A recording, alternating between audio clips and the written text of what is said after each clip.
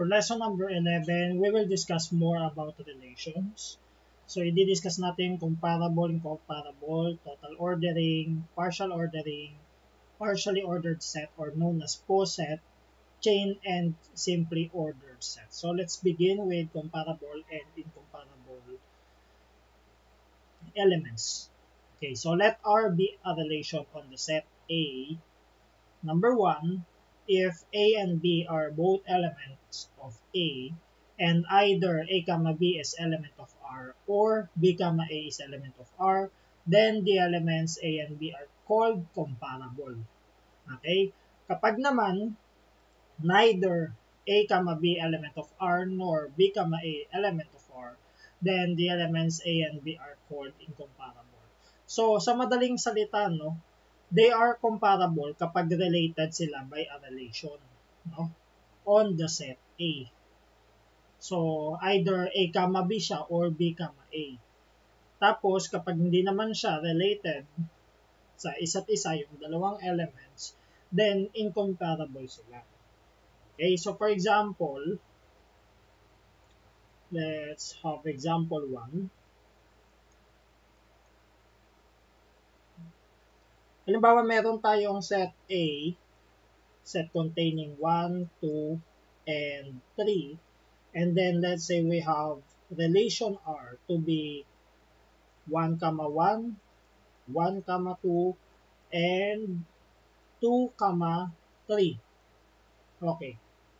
So, dito, mapapansin natin, yung 1, 2 ay nasa laman ng R.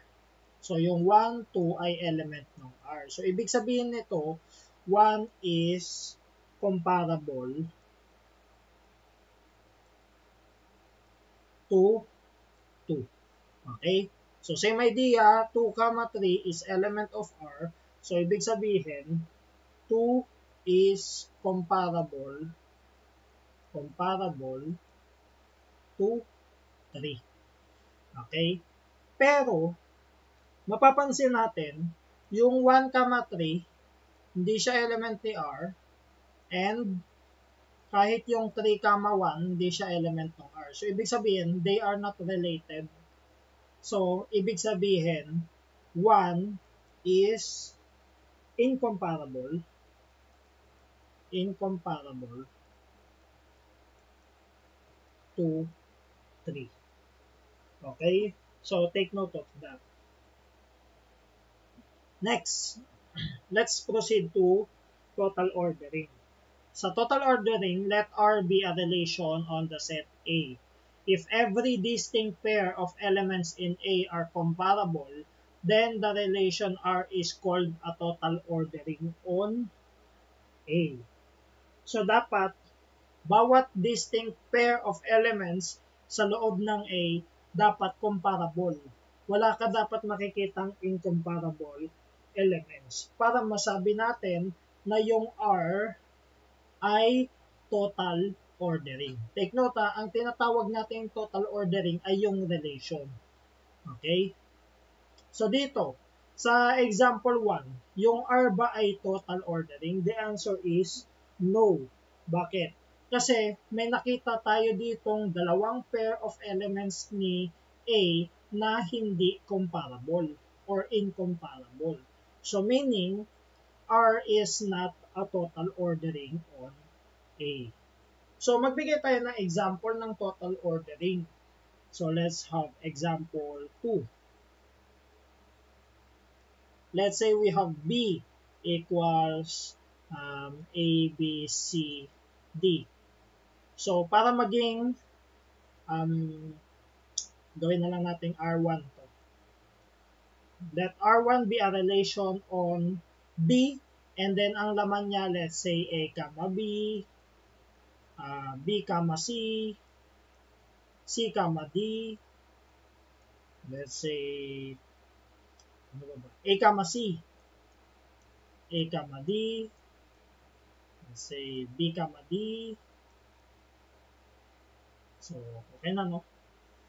Okay. Ayan So, let's say ito yung laman ni R1. Mapapansin natin, yung A related kay B, A related kay C, A is comparable to D, and then B is comparable to C. Obviously, B is comparable to A kasi meron ng AB. B is comparable to D, and then C is comparable to D. So, ibig sabihin yan, lahat ng pair of elements ni B, kahit alin kunin mo ditong pair of elements, they are related dito sa R1. Okay? They are comparable. So, meaning, R1, R1 is total ordering, is a total ordering, total ordering on A. So, yan. So, yun yung sinasabi ng total ordering. So, next, let's have partial ordering. So, sa partial ordering, let R be a relation on the set A if sum, okay, so mapapansin mo yung kinaiba niya sa total ordering. Sa total or ordering, if every, kay partial ordering, if sum. So, hindi kailangan na lahat. Ayan o. No? If some, but not necessarily every pair of distinct elements in A are comparable, then the relation R is for the partial ordering on A. So, dito, sa example 1 natin, ito bang R ay partial ordering on A? So the answer is yes. Bakit? May nakita kasi tayong comparable elements. So pag may nakita tayo kahit isa lang, ibig sabihin total um, partial ordering na yung ating relation. Okay? So R is partial ordering on set A. How about in example 2? Yung R1 ba ay partial ordering on B? The answer is still yes. Okay?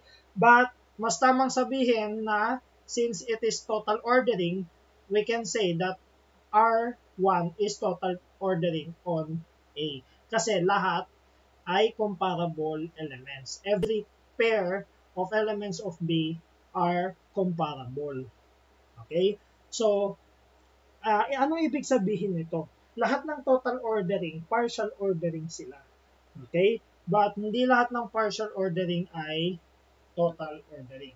So ngayon, kapag nakita natin na total ordering ang given relation, so hindi na natin siya, uh, wag na natin siyang tawagin na partial ordering. So tatawagin na natin siyang total ordering from definition. Kasi ang gusto ng partial ordering, sum lang, not necessarily every pair. Pero hindi naman sinasabi ng definition na dapat lahat ay uh, hindi pwedeng lahat ay comparable. Ang sinasabi lang, not necessarily. Okay? So, ibig sabihin, kahit uh, hindi lahat ay comparable. So, now, para hindi nga tayo malito, once na nakita natin every distinct, uh, every pair of distinct elements ay um, comparable, total ordering ang itatawag natin sa relation na yun. Pero kung hindi lahat, pero may nakita tayong comparable elements dun sa relation, then tatawagin natin siyang partial ordering, ordering on. So next, let's have poset or partially ordered set. So let R be a partial ordering on A such that R is reflexive, antisymmetric, and transitive. Then the set A together with this relation is called a partially ordered set or poset. Okay, so ano mapapansin nyo dito? Sabi dito sa definition, yung R daw unang-una ay dapat partial ordering. So ito yung unang condition. Dapat partial ordering on A. Ano yung pangalawang condition? Dapat reflexive antisymmetric, and transitive. Okay, so i-recall nga natin isa-isa yan. Sa partial ordering, sabi daw kanina, diniscuss natin na may makita ka lang na comparable elements sa loob ni R. So, ibig sabihin, partial ordering na si R.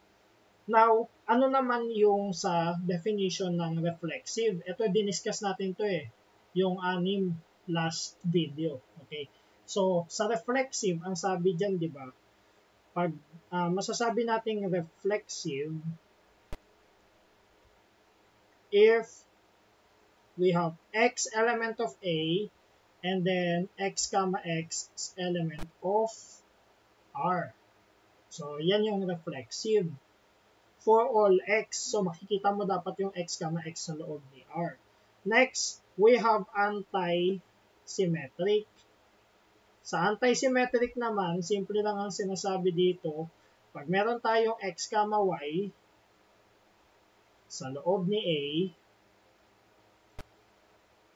xy dapat nasa loob ni R, and yx element of R implies, so ito, pag nakita mo si xy at si yx sa loob ng relation, dapat yung x ay equal sa y.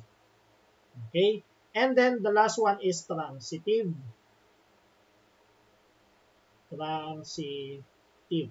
So, ano naman sa transitive? Let's say we have x, y, z element of A. Ang sabi sa transitive, x, y element of R and y, z element of R. So, pag nasa loob yan, x, y at si y, z, dapat si x, z ay nasa loob din ni R. So, yun yung sa transitive. Okay? Now, ibig sabihin, para matest natin kung yung set A together with relation R is a partially ordered set or coset, dapat i-test natin ito bang R ay partial ordering? Yung R ba ay reflexive, anti-symmetric, or transitive? So, meron tayong apat na test na gagawin. Okay? Bawat isa dyan ay iti-test natin. Ngayon, kapag nasatisfy niya yan lahat, ibig sabihin, partially ordered set ang set A together with relation R. Now, hindi pa ako magbibigyan ng example sa poset, so proceed muna tayo sa chain. Okay? Sa chain kasi, nire-require ni chain ay dapat yung A, set A, together with the relation R, or let's uh, have this um, ordered pair A, R, be a poset. Okay, so by the way, itong ordered pair na A, R, uh, ito yon set A together with the relation R. So, una, dapat poset. Okay? So, yun nga, matetest natin to. Another thing, ang sabi, if every distinct pair of elements in A are comparable, ito every distinct pair, then A, R is called a totally ordered set or linearly ordered set. Okay. So, meaning, ito, hinahanap na niya every distinct pair of elements. Ang, tina ang kailangan na niya ay total ordering. Kasi dito sa poset, partial ordering lang ang nire-require. Pero dito sa chain, dapat total ordering yung relation. Okay? So kapag total ordering siya, tapos tines natin reflexive, antisymmetric, transitive, so masasabi natin na chain yung ating set A together with relation R. Okay? Because another term for totally ordered set is chain. So, tatawagin na lang natin siyang chain. So, magbigay nga tayo ng example para dyan. Example number 3. Example 3. Okay. So for example 3, let's try to show show that the set of integers together with the relation less than or equal is a chain. Okay? So, pakita daw natin na chain yung set of integers together with the relation less than or equal to. Okay, so para maipakita natin na chain siya, una, itetest natin kung total ordering siya. At para mapakita natin na total ordering, dapat every distinct pair of elements are comparable. Okay? So, paano natin ipapakita yan? So, try natin. So, for By the way, bago natin ipakita, ano ba tong uh, ano ba yung laman nito? Magiging laman nito. Okay? So, maglet muna tayo for our proof. Let A um, Siyempre, magiging ano na to, no? Ano yung magiging laman nito ng ating relation? So, let A be the element of Z. Wait. I, ano natin? Barayan.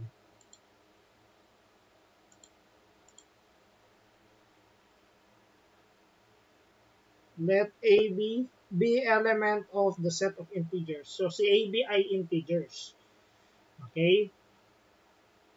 And let R be a relation on Z defined by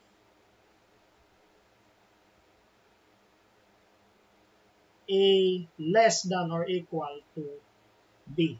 So, ang ating relation R ay defined by A less than or equal to B based on our given. Ang ginamit ay less than or equal to. So, ano yung magiging elements ni R dito?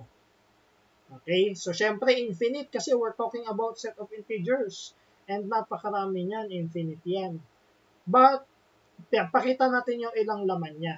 So, we're talking about A less than or equal to B. So, kasama dyan, let's say, si negative 1, 0. So, may negative. Nandyan din si 0, 1. Makikita natin si 1, 2. So, because they are less than or equal to uh, to B, to the second element. Uh, and may makikita din tayo ditong, let's say, 0, 0 or 1, 1 because we're talking about uh, less than or equal. So, pwedeng equal.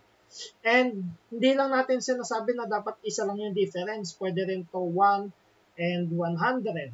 Okay, so yun yung makikita rin natin dyan. And napakaraming laman yan ng relation R. So, ang tanong, gaya ng pinakita ko kanina, masasabi nating total ordering, di ba? Kapag lahat ng elements comparable.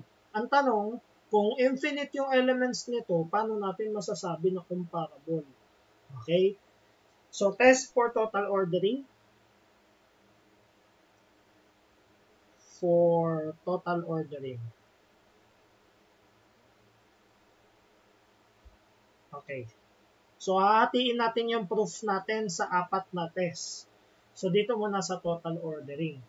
Now, For total ordering, since yung set of integers, since the set of integers, or let's say since z is the set of all integers, all integers,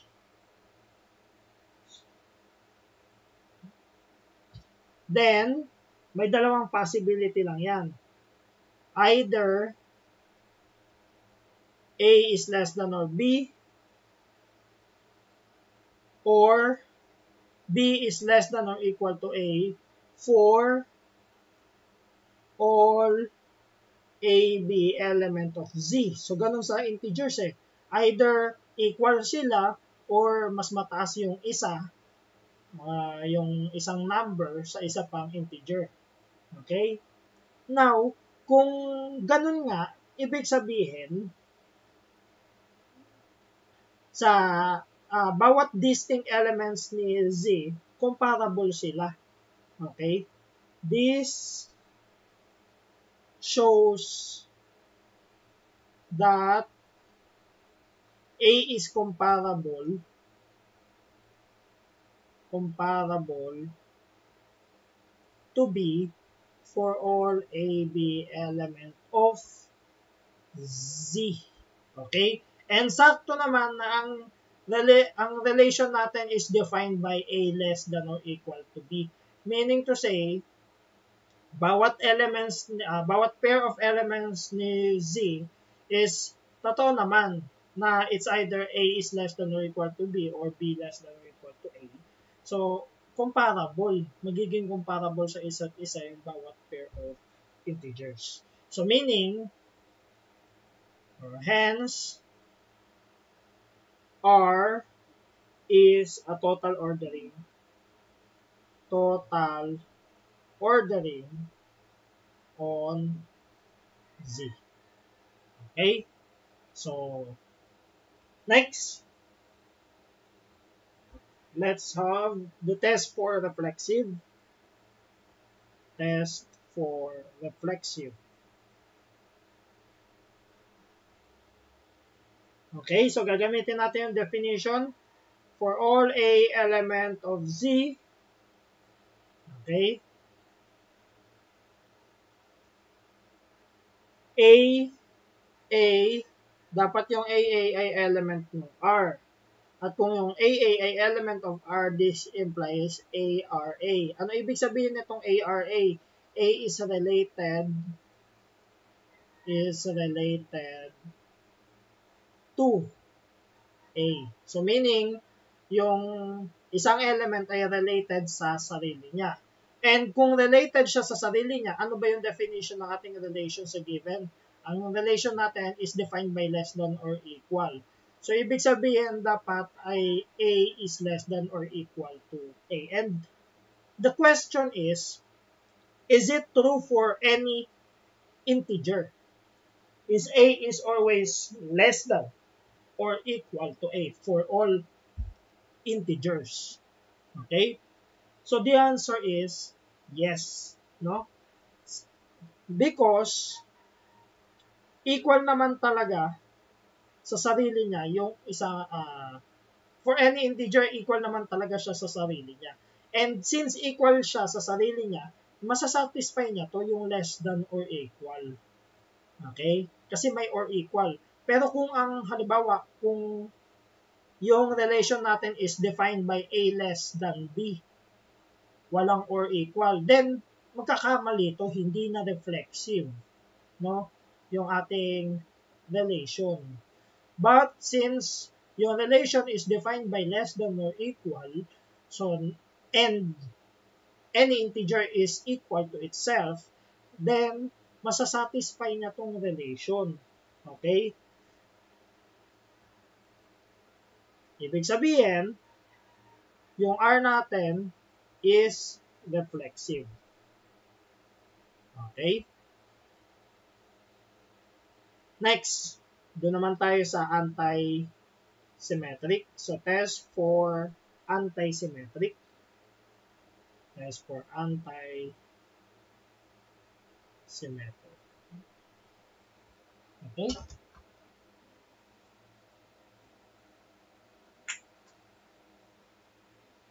Let's try to test for anti-symmetric. Wait. Ano.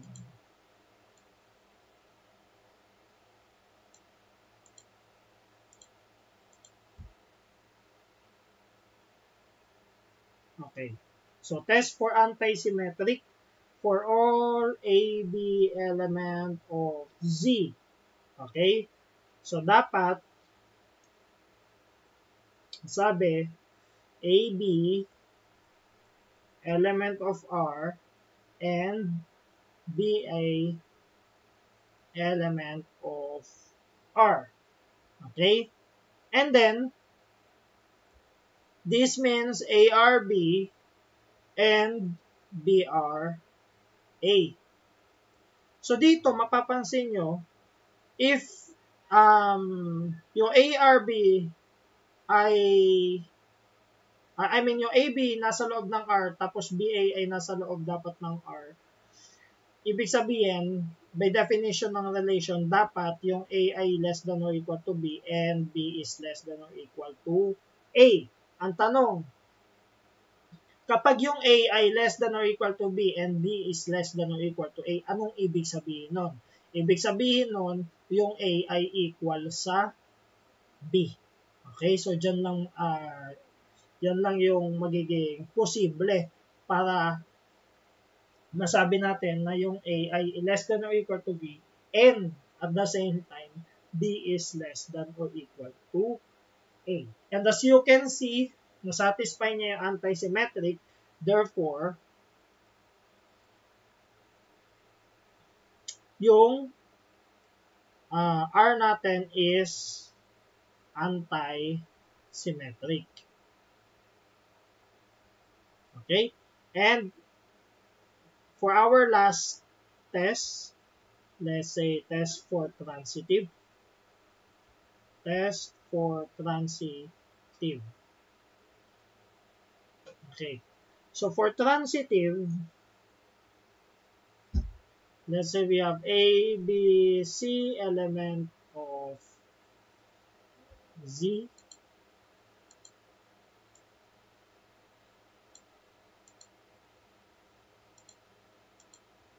ABC element of Z. Okay? So, sa transitive, dapat ito yung masatisfy niya. Halimbawa, i-assume natin AB is element of R and BC element of R. Kailangan mapakita natin, katulad nito, sa anti-symmetric, in-assume natin na yung AB element of R and BA ay element of R. And because of that, we have A less than or equal to B and B is less than or equal to A and it is only possible if they are equal. So, napakita natin na equal sila. Okay? And kung napakita natin na equal sila, this further implies, itutuloy ko lang, that A are B or this is AB. No, no, no. Okay na pala yan. Gumulo pa tuloy. Yun na pala yung pinaka-ano ng anti-symmetric. Since they are equal, so nata- nasatisfy natin yung mismong ano ng anti-symmetric. Yung condition ni anti-symmetric. So, eto, balikan natin. Yan. Okay? So, kung i-assume natin x, y element of r, y, x element of r, dapat makita natin equal. So, na-satisfy natin to. Dito naman sa transitive, i-assume natin na yung x, y element of r, y, z element of r, pakita natin na yung x, z ay element ni R. Okay, so ito yung gagawin natin. Papakita natin. Ang goal natin, mapakita natin dito, AC ay element ni R. Okay? Now, kung yung AB ay element of R, then we have ARB and BRC. Okay? And ARB, using definition ng relation, this is A less than or equal to B. Tama? And B is less than or equal to C. Okay?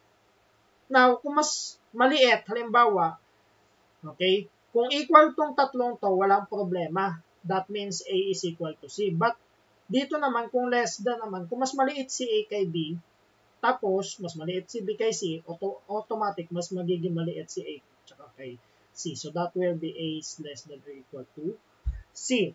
Okay? Since we are using the less than or equal to. Okay, and then this further implies that ARC or we have AC element of R. Okay, so this means R is transitive. Okay, now, since transitive um, since total ordering, reflexive, antisymmetric, at transitive yung relation natin, therefore, the set Z together with the relation less than or equal is a chain. Okay? So, yan lang yon Ganun lang siya kasimple. Okay? Now, uh, let's proceed to the last part. Sa last part, we have simply ordered set. Let R be a total ordering on the set A. So, pareho ng condition ng chain. Such that R is irreflexive and transitive. So, dalawa lang. Kailangan irreflexive tsaka transitive. Then, the set A together with the relation R is called a simply ordered set. The relation R is called a simple ordering or strict partial ordering. Okay? So may tawag tayo kay set A. Ang tawag natin kay set A together with R is simply ordered set. Ang tawag naman natin kay R dito ay simple ordering o kaya strict partial ordering. Okay? Bigay tayo ng example. Pangilang example na to? Example number 4. Example 4. So dito, pakita naman natin, show that ang gawin naman natin ay set of integers tapos less than is a simply ordered set. Ordered set. Okay? So, yung mapapansin mo, yung kanina, less than or equal. So, dito naman, less than lang. Okay? So, obviously, kung naka-less than, hindi to yung katulad nung na-prove natin na chain. So, hindi pa natin alam kung chain to o hindi. Okay? But, kung iisipin nyo mabuti, sa chain, kailangan niya reflexive eh. Okay? Tapos sabi ko nga, sa reflexive, dapat A, R, A or A is less than A. Okay? Kung less than ang gagamitin natin. Which is, imposible mangyari yon na mas mababa ka sa sarili mo. No? So, hindi na siya reflexive at kapag na, hindi niya na-satisfy, isa sa condition dito sa apat, automatic hindi na siya chain. So, kaya ito, hindi na siya chain. Ngayon, titignan naman natin kung hindi siya chain, ito ba ay simply ordered set. Okay? So, ano yung magiging laman nito? So, mag-let muna tayo. Let uh, A, B the element of Z and R be a relation on Z defined by A less than B. Okay, so yan. So ano yung magiging laman ni R dito?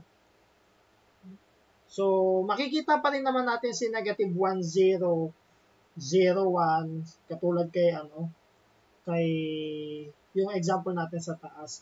Pero may hindi tayo makikita. Hindi natin makikita dito yung 1, 1, 0, 0 kasi hindi naman siya sa loob ng ano, Okay, hindi niya masasatisfy to. Okay? Now, ang tanong, una, itetest natin kung total ordering siya. Yun kasi yung unang condition. Dapat, so tatlong test lang yung pagkakahati nito, no? Hindi tulad nung nasa taas, apat, Okay, so ayan yung condition niya. Eh. Dapat total ordering, irreflexive, transitive. Okay, so simply order set. So test for total ordering. So ganun din, no? For all AB element of Z kapag meron tayong oh, either A, B is element of R or BA element of R. Okay? So, bakit either A, B element of R? Ibig sabihin yan,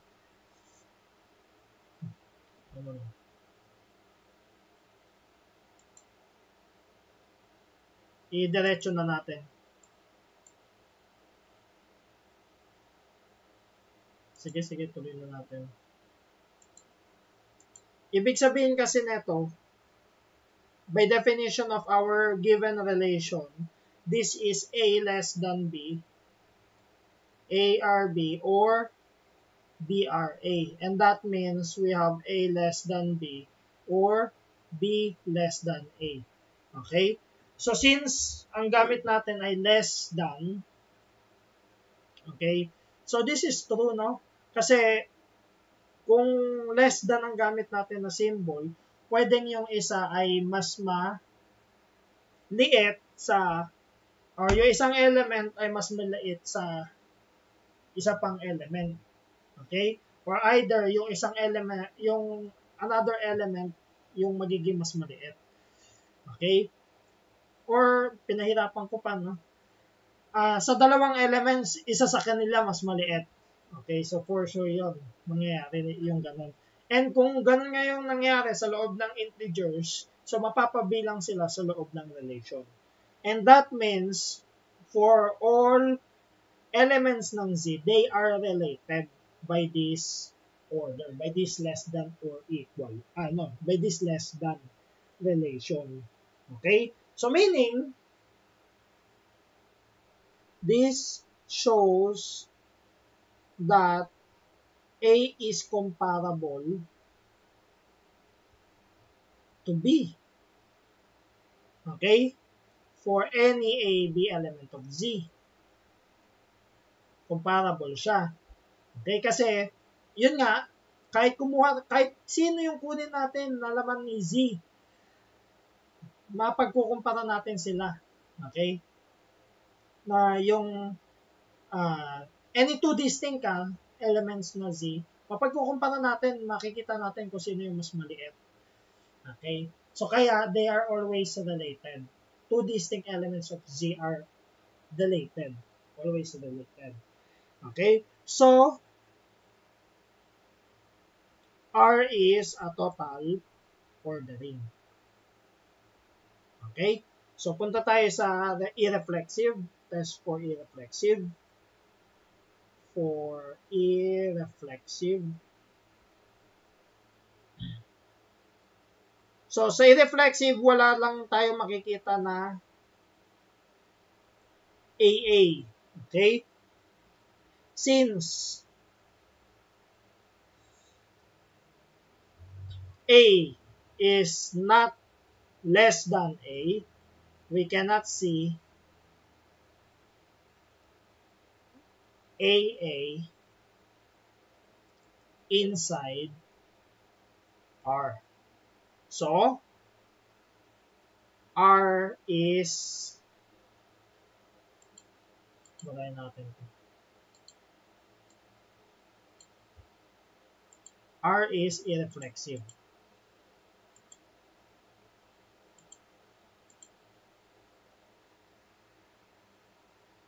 E reflexive. So, yun yung condition ni irreflexive eh. Dapat wala kang makikita ang AA sa loob ni R. Okay? Next. Test for transitive. Okay?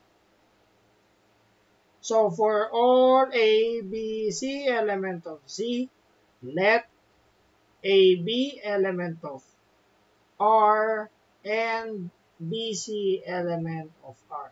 So this implies ARB and BRC. And using the definition of R in our given, this is A less than B and B less than C. So kung mababa si A kay B at mababa si B kay C, this implies na mas mababa si A by our common logic. No? Kung mas maliit, uh, mas maliit to dito, kasi ito mas maliit kasi obviously this is uh, A less than C. And napagdaanan na natin to sa algebra in our in high school, no? So A is less than C. Okay? So R is transitive. Okay? And as you can see, total ordering si R, irreflexive siya, and transitive siya. So therefore, the set of integers together with less than relation is a simply ordered set. Okay? So, yun. So, ganun lang siya kasimple. So, uh, sa ngayon, no, ang diniscuss ko yung concept nila. Maybe this will be useful in our uh, future topic. So maybe not in uh, in set theory, but uh, set theory is a foundation, no? Uh, pwedeng magamit natin sa abstract algebra yung mga discussion natin dito or magamit natin sa topology or analysis, advanced calculus or real analysis. Okay? Okay, so um, yun lang yung magiging discussion natin for lesson number 11. And for lesson number 12, di-discuss natin about equivalence relation.